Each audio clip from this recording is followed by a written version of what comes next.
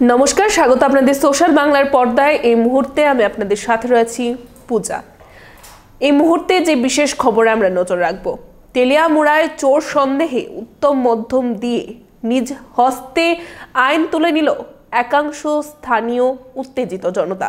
কি রয়েছে বিস্তারিত অবশ্যই আপনাদের সামনে তুলে ধরবো এবং সেখানে আমরা বিস্তারিত জানতে পারি যে সবকা সাথ, সবকা বিকাশ।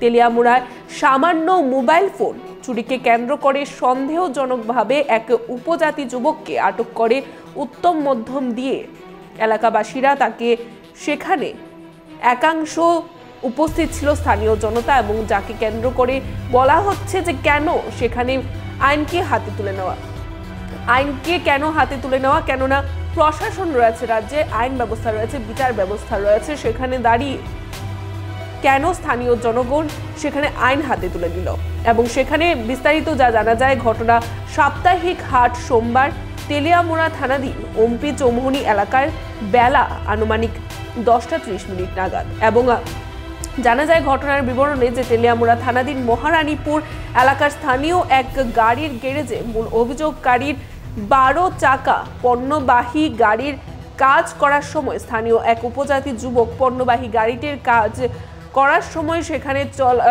চলাকালীন গাড়ি থেকে গাড়ির চালক ও সহচালকের অলক্ষের নিশানাকে কাজে লাগিয়ে গাড়ির সহচালকের মোবাইল ফোনটি চুরি করে পালিয়ে যায় তেলিয়ামুড়ায়।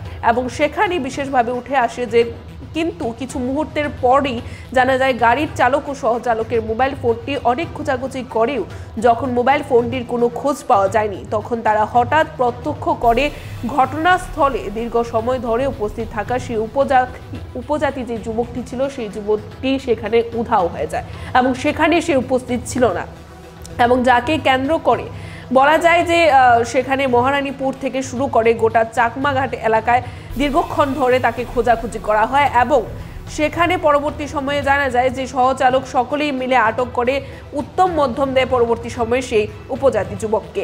এবং সেখানে দেখা যায় যে, চোর সন্দেহে আটক করা ওই উপজাতি যুবককে উত্তেজিত জনতার হাত থেকে আটক করে নিয়ে আসে তেলিয়ামুড়া থানায় পরবর্তী সময়ে। এবং সেটাই প্রশ্ন যেখানে চোর সন্দেহ করে কেন একজন উপজাতি যুবককে সেখানে চোর সন্দেহজনকভাবে যেহেতু করা হয়েছে?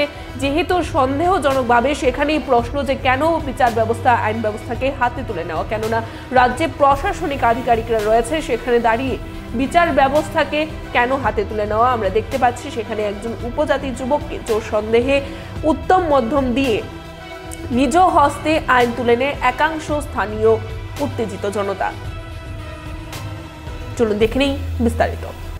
আমি স্যার তারা কিছু আমি কিছু তারা কিছু মারছে আমি বাবা তারা তারা মারে মানুষ মোলে তারা মারছে কেন তোমাকে?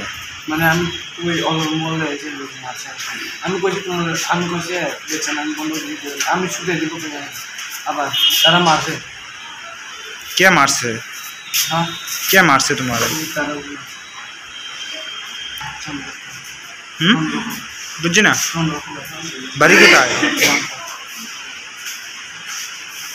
তারা এটা ফাইনাল। এটা প্রথম হয়েছে কিতা হয়েছে ঘটনা হয়েছে পুলিশ মহারানীপুর আছে মহারানীপুর ভোরবেলা গাড়িটা রাখছে। আর রাখছে, আমি বাইরে গেছে, মোবাইল মোবাইল গেছে। আর নেক্সট হয়েছে জল আনতাম গেছে, বোতলে জল বইরা এই সময় আমি মোবাইল লুকাইয়া রাখছি গাড়ি ভিতরে। এরপরে আবার আইসে আইসে আমি গ্রিস করতাম, নামছে। আর হে লগে আসলো আমার লগে। তাহলে আমি গ্রিস করতাম, নামতে গেছে প্রথম খুঁজে জল। আমি জল দিছি, গাড়িতে উঠিয়া না, হেরে না উঠাইয়া। এরপরে আবার আমি নেশা গেছা জল দিয়ে সেটা। আবার খুঁজে, ম্যাচ। আমি আচ্ছা ম্যাচ আমি দিতাছি কইয়া গ্রিস করতেছে। গ্রিস করতে করতে ওই ম্যাচ লইমু কইয়া হে লইয়া বাগিয়া গেছে হ্যাঁ বাগিয়া আমি চাকমাকা ঢুকাইছে কি লইয়া বাগছে? মোবাইল লইয়া বাগছে। কার মোবাইল? আমার মোবাইল। এবার মোবাইল সময় বাক্সে তো পাইছে না। পুরা চাকমাকা ফেললে মোরা সব ফেরে বিছাইছে পাইছে না। তাহলে এক মাস ধরে বিছাইতে পাইছে না আজকে পাইছে। পাইছে? মার তো আসলো না। হে যে একবার। হেরে পাইছে পাইছে আমি জিজ্ঞাসা কথা কথা জিজ্ঞাসা আমার মোবাইল কেড়ে নিছে কিতা হয়েছে এমন নইলে ভালো না আমি হেরে জিজ্ঞাসা কইছে হ্যাঁ কইছে আমি নিছে না আমি বন্দুক দিছে এবারে এরা মারতে আসলো না হ্যাঁ একবার ভাগে গেছিল কা না বুঝছি তোমরা মারছি দেখে নাম ডাকছে তোমরা কোশ্চেন মানা করছে মারিস না আমি মোল দিমু কোশ্চেন তোমরা বাইরে মানে মঙ্গল দিবস বাজারে নেই। বাজারের সাইডে হ্যাঁ ভাগে গেছে কা আর ভাগে বাচ্চি দিবস করে আমি। মানে ধর- এই ধরিয়া ইয়ে হয়েছে কোন জায়গার থেকে নিছে মোবাইল? মোবাইলটা মহারাজপুর তোমার নাম কি? অলরাম ত্রিপুরা। এখনকার মতো সংবাদ এখানেই শেষ করছি। পরবর্তী বিভিন্ন আপডেটস দেখতে অবশ্যই চোখ রাখবেন সোশ্যাল বাংলার পর্দায়। নমস্কার।